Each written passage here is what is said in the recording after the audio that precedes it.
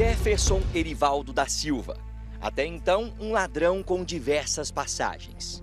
Certa vez, entre furtos e roubos, num único mês, a polícia pegou ele seis vezes. Sempre se livrou da cadeia na audiência de custódia.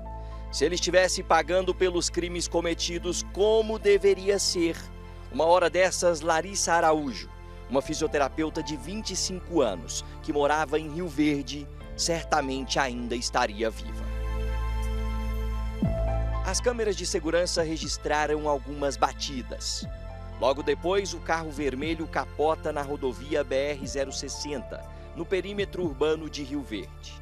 O motorista do veículo foge logo em seguida. Algo parecido com um corpo cai fora do veículo. Era o corpo de Larissa. Nós fomos informados na hora do acidente, uma pessoa viu e informou que um veículo tinha capotado e uma, um corpo tinha sido ejetado do veículo. E a mulher já estava morta, ela foi ejetada pelo porta-mala e estava amarrada em lençóis, em cobertas. Então, possivelmente, ele houve um homicídio anterior e ele estava indo se desfazer do corpo e acabou sofrendo esse acidente. Larissa era muito querida pela família e amigos. Nesse momento estamos todos sofrendo, né? especialmente a mãe, os avós, a irmã, os primos, os tios, amigos, conhecidos. E nós vamos pedir justiça, que a justiça seja feita que não fique impune. Na formatura do curso de fisioterapia, falou em nome da turma. Juro honrar o nome da fisioterapia com amor, respeito e dignidade. Sempre de bem com a vida, comemorando as vitórias conquistadas.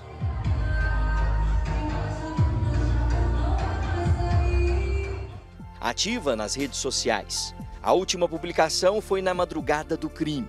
Estava assistindo a um desenho na TV. A vítima provavelmente já estava dormindo quando o bandido chega.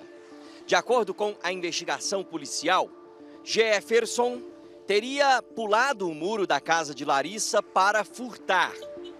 Quando ele chega, ele vê que tem alguém lá dentro. Provavelmente, com o barulho que ele fez, ela acordou. Daí, ele decide, já que a pessoa estava acordada, o que seria um furto, se transforma em um roubo. Porém, era ali mais ou menos entre 5 e 6 da manhã, ele decide ir além. As evidências, inclusive provas periciais coletadas pela polícia, mostram que a vítima sofreu um abuso sexual, tinha material genético de uma pessoa na vítima. Suspeita-se, claro, que ao realizar o roubo, ele também tenha estuprado a vítima, Larissa. Essa circunstância do crime sexual, a Polícia Civil aguarda ainda o resultado do, do Instituto Médico Legal, a confirmação do material genético, e certamente ele será investigado e denunciado também pelo crime de estupro, além de latrocínio. Depois disso, não satisfeito, provavelmente querendo ocultar todos aqueles crimes, ele mata a moça de 25 anos.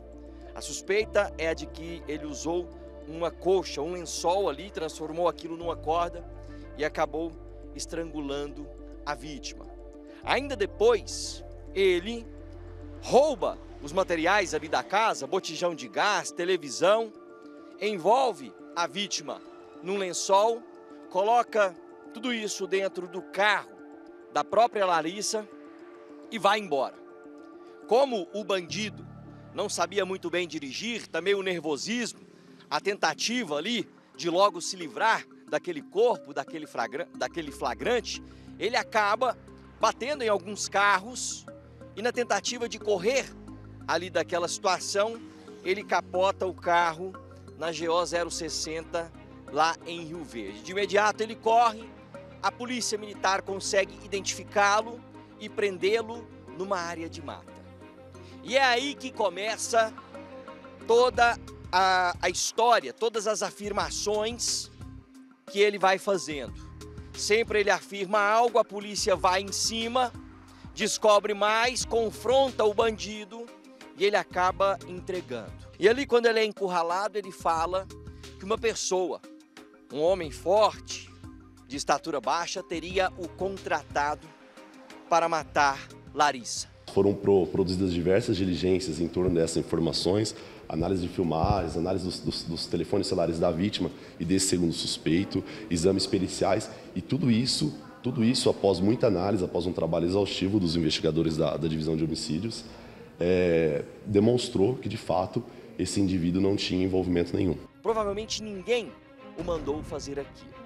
Ele só é um ladrão profissional, é um ladrão que num único mês foi pego pela polícia seis vezes, mas é mais um entre milhares, milhares e milhares nesse país que saem no tal do Instituto da Audiência de Custódia. E foi aí que esse Jefferson foi escalando do furto para o roubo, do roubo para o latrocínio e possivelmente também o estupro. Não se descarta a possibilidade de que ele ainda não tenha contado completamente a verdade. Como eu disse, sempre confrontado com as provas, ele inventa um novo álibi. E agora a Polícia Civil vai documentar, vai documentar tudo o que demonstrou que não há envolvimento desse segundo suspeito e também vai trabalhar para tentar identificar se há ou não um mandante, um outro mandante, quem é essa pessoa, inclusive se não há esse mandante, que a princípio é o que a polícia acredita.